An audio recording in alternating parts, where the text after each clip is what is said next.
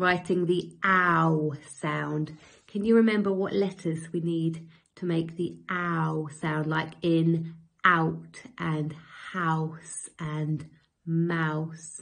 Can you remember? That's right, it's an O and a U. So I'm just going to switch the camera so you can see my writing and we're going to practice writing the ow sound and see if we can write some words that have the ow sound. And just like yesterday, you can print off the handwriting paper. That's what I'm going to use today.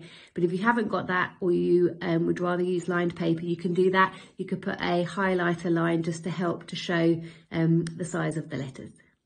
Okay, so here we go. We've got our handwriting paper. And remember, we were writing on the dark, thick line there.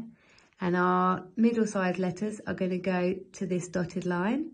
And our tall letters go up to the red line and the ones with the tail go down. So if we're writing our, our ow, we need an O and a U. So we do a here we go, round, and there's our O, and then U,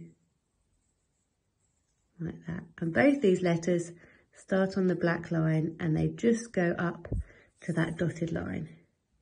So let's do that again. So we go around and back, O, and our yeah I'll do it one more time so we go here we go round and back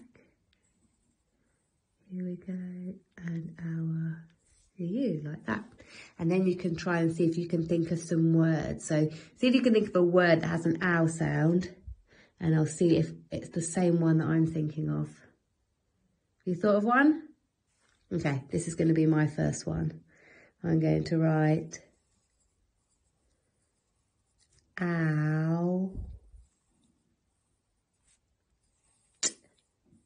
See how my t is a tall letter and it goes right up to the red line. Out. Okay, here we go. I'm going to write another one. Can you think of one?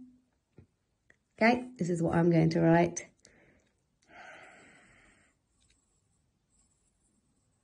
another tall one. Ow.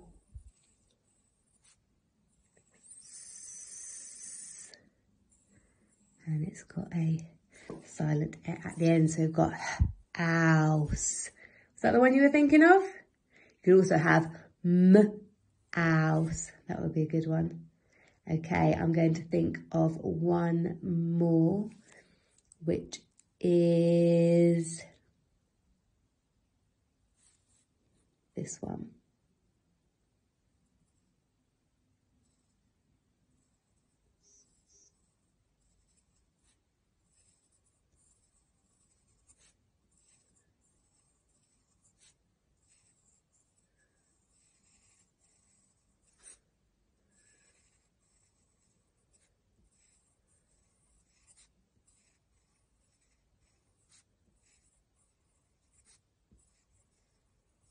It's a long word. Can you read this one? Let's do it together.